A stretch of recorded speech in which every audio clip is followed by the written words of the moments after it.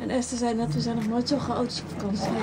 We gaan nu naar het restaurant lopen. Ja, en ik vind het echt een workout. Ja. Maar we hebben net geprobeerd de kinderen nog te laten slapen. Maar het is niet gelukt. Nee. Kijk, het is een uitzicht.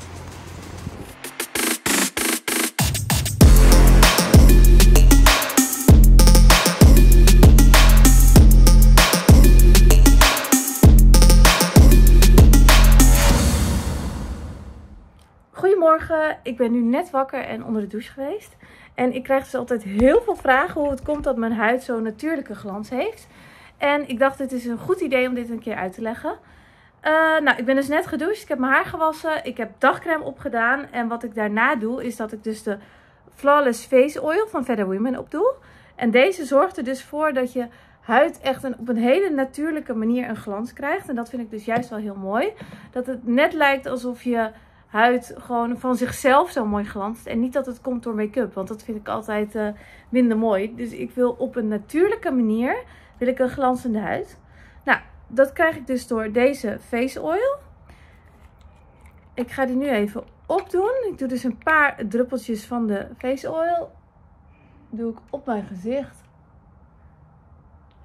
En ook op mijn hals. Want het is dus echt super belangrijk om je ook je hals mee te pakken omdat het ook een hele dunne huid is. En ja, ik word wel wakker van die, dan van die mini rimpeltjes op mijn hals. Dus dan is het ook belangrijk om die heel goed te verzorgen. Nou, ik smeer het goed in. Zo. En als je wil, kan je nog extra de hoogste puntjes van je gezicht meepakken. En dat is dus uh, je jukbeenderen, onder je wenkbrauwen, je neus, en je kin. Zo. Nou, je ziet het dat mijn huid echt een hele mooie glans heeft. En dat het echt vanuit de huid zelf is. Dus dat vind ik dus echt heel mooi. Er zit er ook geen shimmer, niks in. Het is gewoon hele pure natuurlijke olie. Daarnaast is het dus anti-aging. Wat dus echt heel fijn is. Want je ziet, nou ja, de rimpeltjes, die heb ik al hier. Op mijn gezicht komen natuurlijk ook al rimpeltjes. Het is ontstekingsremmend. Want zoals hier heb ik nu kleine plekjes op mijn huid zitten. En het zorgt dat die worden verminderd. Dus je denkt vaak een olie, dat maakt mijn huid vet of zoiets. Maar dat is het dus echt totaal niet. Het maakt je huid niet vet. En het gaat dus juist echt die ontstekentjes, die kleine ontstekentjes tegen. En on, hoe noem je dat? Um, oneffenheden in je huid. Ik kon even niet op het woord komen. Maar het gaat dus juist de oneffenheden op de huid gaat tegen. Daar kwam Israël even binnen. En um, even kijken. Nou ben ik helemaal het kwijt. Nou, het gaat de ontstekingen, ontstekingen in de huid tegen. En um, nou, het geeft dus een, hele, een heel mooi effect. Dus ik ga me nu opmaken. Als ik mij opmaak, dan gebruik ik dus alleen een getinte SPF. En gebruik ik voor de rest niet echt foundation of zo. Omdat ik dat dus echt zonde vind. Omdat dat alleen maar je huid verstopt. Dus een heel dun laagje make-up. En ik wil het echt vanuit de natuurlijke manier laten glanzen. Dus uh, nou, ik ga me nu opmaken en uh, dan ben ik klaar voor de dag. En ik ben klaar. Ik heb me dus helemaal opgemaakt. Nou, helemaal opgemaakt, dat uh, klinkt heel heftig. Maar ik heb dus eigenlijk bijna geen make-up op. En ik moet ook zeggen dat je dat bijna niet nodig hebt door de Flawless Face Oil van Feather Women. En ik heb wel een hele mooie natuurlijke glans op mijn gezicht zitten. Dus ik ben er echt super blij mee. Dus de Fair Women Face Oil is echt een aanrader. Je hebt echt bijna geen make-up nodig voor een hele mooie glow. En ik heb natuurlijk mijn haar gefeund, wat natuurlijk ook wel even scheelt dat je er iets beter uitziet. Nou, en ik ben klaar voor de dag. Een leuk pak aan, oorbellen van verder en verder. En dus echt het minimale aan make-up heb ik op. Dus uh, ik ben klaar om naar kantoor te gaan. Oh.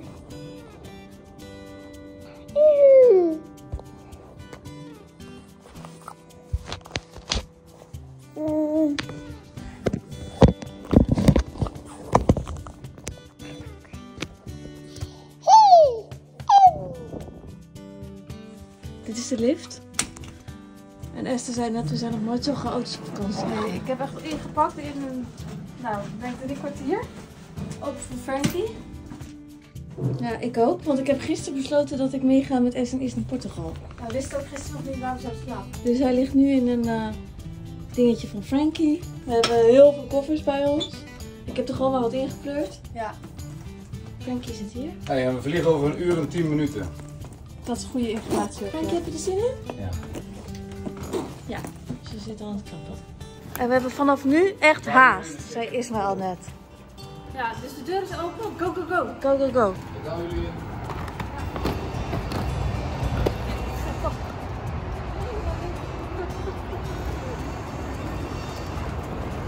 Nou, we zitten eindelijk in het vliegtuig. We waren echt veel te laat. Ja, Eh, rennen. Ja, want Ma op de een of andere manier stond Maas als Mark in het KLM-systeem. En ik weet echt niet hoe het komt, want in mijn app zit wel gewoon Maas. Dus ik denk dat er iets fout is gegaan. Dus we moesten echt rennen naar de gate. En met twee baby's is dat niet aan te raden.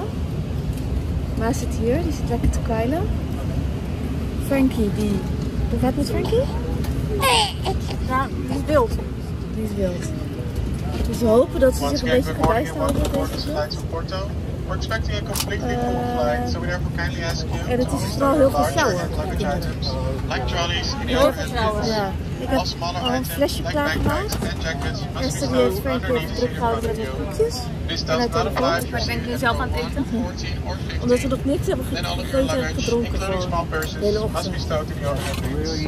And to the unlikely event of evacuation, do not take any Nou, daar gaan we, hè? with you. Je wordt nog wat. Is dit hier? Onze reisleider? Moeten we zonder hebben? Ja, we moeten zonder hem. Nou, dat weet ik ook niet, ja? We zijn net aangekomen. Ik heb een eh, Starbucks ijskoffie gehaald. Anne staat hier.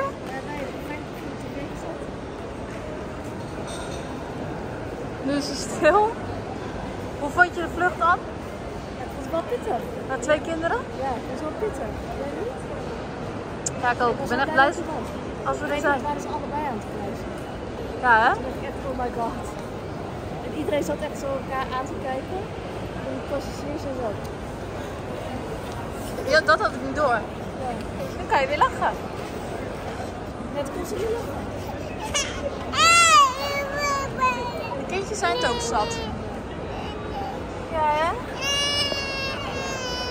Maar even uit zijn minibroekje gehaald. Ja. We hebben een auto gehuurd. En Esther zit in het midden. Ja. En Maas vindt het helemaal interessant.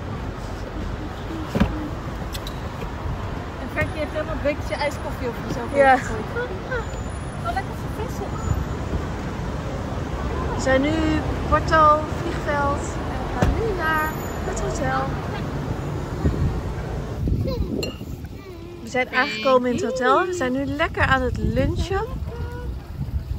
Esther is Frankie aan het voeren. Die is een beetje op de eind van het Latijn aan het gekomen. Maasje ook een beetje. Kijk maar. Ja. En we hebben echt een mega mooi uitzicht hier. Maar dit moet je even proeven aan. Echt bizar. Dit is echt Ik ben heel happy. een Portugese delicatesse. Mm. Dat is goed hè? Aardappelpuree. Hollandse pot. Hollandse pot. Lekker zwembadje hier. Ook stil. eh. We gaan nu naar het restaurant lopen. En ik vind het echt een workout, Ja. En we hebben net geprobeerd de kinderen nog te laten slapen. maar het is niet gelukt. Nee. Isma heeft op de gang gewacht. Ik naast het bed op de grond. En Maas die heeft zich helemaal Chic, speciaal... chic aangekleed. Het is echt leuk, het is van H&M. Die neemt Frankie mee op date. Maar kost dus echt 10 euro. Frankie heeft een jurkje aan. Waarvan is die dan? Ook van H&M. Maar het kost echt niks, hè? En het jurkje wat ik aan heb is ook van H&M. Kom maar. Kijk, de- deze is ook van H&M. Ja, echt leuk. En i- deze, wat ik aan heb, waar is dat dan van? is van de Zara. Is ook heel leuk, ja. Nou, fitcheck. Ik heb standaard één merk aan. Profomo. On the bottom of everything you'll find the quail egg yolk. And because of this we have to mix everything. Yes. But first finish our dish with lemon zest. That's okay. I'm okay. It's okay, it's okay.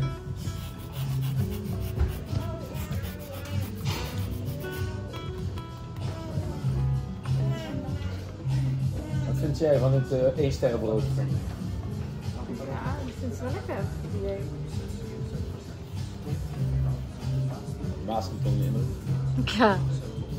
Het is nu de eerste ochtend. En eh, Esther en Is, die hebben een maasje meegenomen. En die zit al aan het ontbijt. Met Frankie. Frankie, hoe heb jij geslapen? Hoe heb jij geslapen hier? Nou, ze gaan weer Een beetje vroeg wakker, hè? En hoe heb jij geslapen? Jij was om vier uur wakker? En wat een mooi shirtje. En hoe heb jij geslapen? Oké. Oké, jij? Eh, ook oké. Maar het is, ja, het is wel een beetje bewolkt vandaag. Dus we gaan zo even naar de gym. Maar dit is wel een mooi uitzicht. Je. Ei maar. Ja, ei maar. Goed zo, Frankie. Nou, ik heb sowieso nog een mooi gesprek met hem volgende week over... Uh... De Bing weer uitstapt? Oh ja, ja. Is wel eens even een sportlesje aan het geven. Oké, dus uitstappen. Ja. Omhoog. Uitstappen. Oh.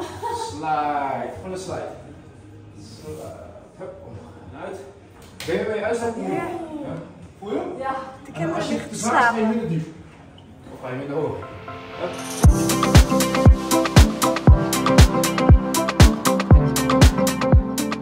We zijn nu gearriveerd in ons tweede hotel. En dat is dus een eh, soort historic hotel. Met echt een super mooi uitzicht. Echt een heel mooi uitzicht. Dus dit is ook wel weer een beleving. Dus ik ben benieuwd hoe het er binnen uitziet. Het is een soort burcht, zei ik. Maar jij zei een slot.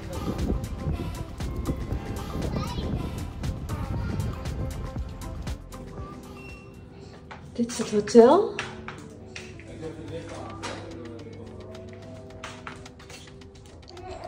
Maasje ligt hier al.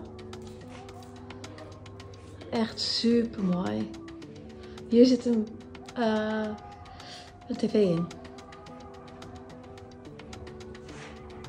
En het is echt een mega aanrader. En het zit een half uurtje buiten Porto. Want het is een net geopend nieuw hotel. Dus nog maar vier maanden is het open. En het is lekker, dus niet in het drukke centrum, maar gewoon een half uurtje er vandaan. En helemaal nieuw. Dus het is echt, kijk eens wat een uitzicht. Het is ook een soort, soort oud slot dus.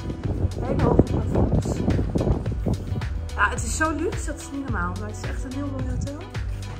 Dus we gaan nu even uitpakken. We gaan Frankie En dan kunnen wij even kijken naar bij het zwembad of dat leuk is. Ik zal nog even de badkamer laten zien. De deur staat open, maar dit is echt helemaal nieuw alles. Toilet. Ziet er echt geweldig uit.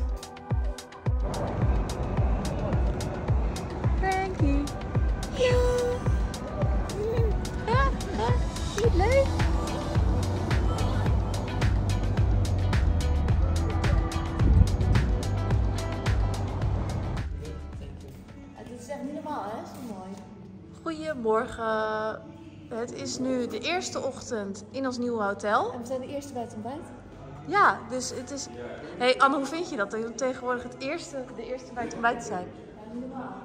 Het is namelijk nog vroeg. Ah, dit is wel echt een heel... We hebben hier gisteravond ook gegeten. En dit ontbijt. Ik vind altijd... Ontbijten op vakantie is denk ik wel mijn favoriete ding.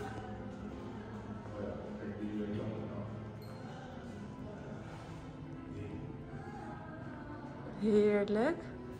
Ja, en dit is dus het ontbijtrestaurant. Ja, het is echt prachtig. Het is echt niet normaal. Ik vind dit hotel is wel echt een fijn. Ismaël heeft dit gevonden. Ja. En ik vind het echt eh, heel mooi. Lekkere granola. Zegt ook veel over een hotel, hè? En lekkere koffie. Dus die gaan we even testen. En Maasje heeft voor het eerst goed geslapen, zei Anne. Ja. Mag ook wel een keer na de vijf maanden is Ja, dus eh wij mogen het vaker doen. Maasje, hoor je dat? Je moet vaker doorslapen. En Frankie heeft natuurlijk weer tot half acht geslapen. Die krijgt al een drinkbekertje. Oh. Is natuurlijk ook weer tot half acht geslapen. Oh, iets eerder. Eerder. We liggen nu lekker bij een strandtent. Maas. Maas was de hele tijd heel lief en nu even, is even niet zo lief. Maasje. Heeft dit pakje van S&Is gekregen. Echt super schattig. Ja, heel schattig hè. En Frankie is lekker vriendinnetjes aan het maken. Esther ligt met een rozeetje toe te kijken. Het is vandaag een beetje bewolkt. Beetje? Zeg maar gerust heel bewolkt hoor. Kijk, heel bewolkt. En we hadden het er net over met z'n tweeën. Altijd als we naar het buitenland gaan, is het slecht weer. Kan ik ook een zetten? Ja.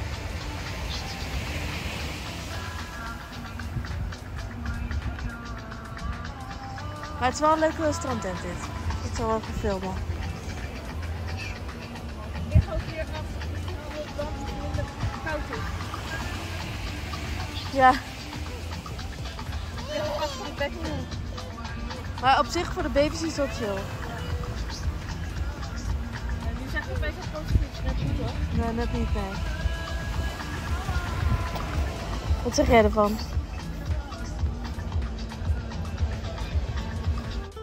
Zo, ik ben net wakker. Ik heb net Maasje een flesje gegeven. En eh, ik lig nu nog even te chillen in bed met hem. Het is vandaag in de derde dag in Portugal. Maas ligt ook lekker te lachen hier. De derde dag in Portugal, maar het is een beetje bewolkt. Dus dat is kut. En het is ook 22 graden, dus dat is niet echt heel warm. Maar ze hebben hier een hele mooie spa in het hotel. Dus ik denk dat ik even als Maas lekker aan het slapen is naar de spa ga. Misschien dat ik nog even ga kijken naar een massage. Eh, ik had gisteren al gekeken voor de prijzen van massages, maar dat was dus 150 euro of zo. En toch dan ben ik daar altijd wel weer een beetje gierig voor om dat aan mezelf uit te besteden. Maar misschien ga ik dat toch maar even gewoon doen vandaag. Esther die slaapt in de kamer naast ons en die, eh, die zei dat eh, Frankie kou heeft gevat gisteren. Dus dat ze de hele nacht koorts heeft gehad en ziek is geweest en over is gegeven. Dus ik ga straks even op de kamer kijken wat er nou precies aan de hand is. En ik hoop wel dat ze beter is. Want ik vind het altijd zo zielig als kindjes ziek zijn. Dus ehm, ik denk dat het een beetje een rustig dagje gaat worden vandaag. Maar ook wel even lekker. Toch,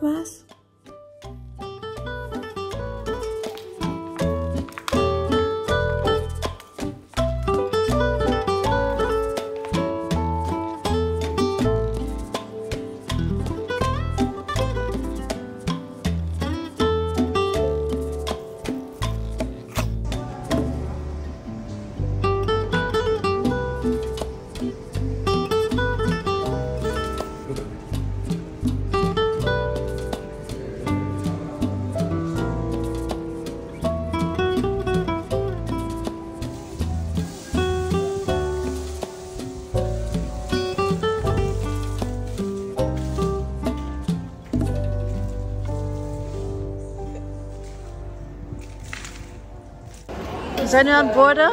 En Ismaël heeft nog een pastel de nata. Want die hebben we maar één keer gegeten. We hebben alleen een halve minuut. Can we go? Oké. Dus we gaan, ja. Maar we gaan nu weer naar huis. Ja, nu wil ik altijd thuis. Ja. Ik wil ook wel weer thuis zijn. Maasje ook. Die heeft zijn flesje al klaar liggen. We zijn, eh, hij had dus zo'n tijgertje als knuffeltje. En die ehm, zijn we dus kwijtgeraakt. Dat is al echt een beetje kut. Dus ik denk dat ik even moet gaan googlen waar ik dus van die tijgertjes, knuffeltjes kan krijgen. Als iemand een tip heeft, laat alsjeblieft weten, want het was echt het lievelingspluffetje van Maasje en van Frankie. Oh,